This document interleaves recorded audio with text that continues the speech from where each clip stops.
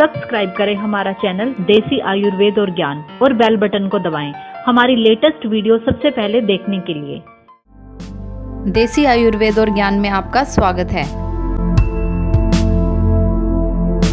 बहुत से लोगों को खाना ना पचने की शिकायत हो जाती है। खाना ठीक से हजम ना हो तो पेट में गैस, भारीपन, बेचैनी, उल्टियाँ, जी मचलना, चक्कर आना आदि शिकायतें होने लगती हैं। आज की जीवन शैली में समय असमय खाना देर तक बैठकर काम करते रहना या भूख लगने पर उल्टा सीधा कुछ भी खा लेना आम बात हो गई है।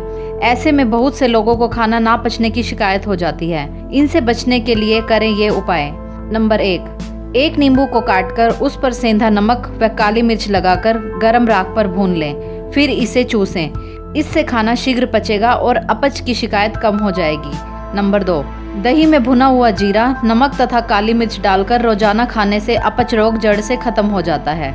नंबर तीन, बथुए का रस और पपीता भी अपच में बहुत उपयोगी होते हैं। नंबर चार, अनानास की फाक पर नमक और काली मिर्च डालकर खाएँ। नंबर पाँच, प्याज काटकर उस पर नींबू का रस निचोड़कर रोज़ाना खाएँ।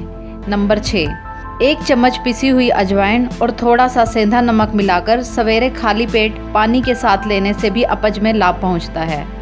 नंबर सात। दो लौंग लेकर उन्हें पीस लें। आधे कप गर्म पानी में डालें, फिर ठंडा होने पर इस पानी को पी लें। रोज़ाना ऐसा दिन में तीन बार करने से लाभ होगा। अगर हमारी दी गई जानकारी अच्छी लगी तो वीडियो को लाइक और शेयर ज़रूर करें।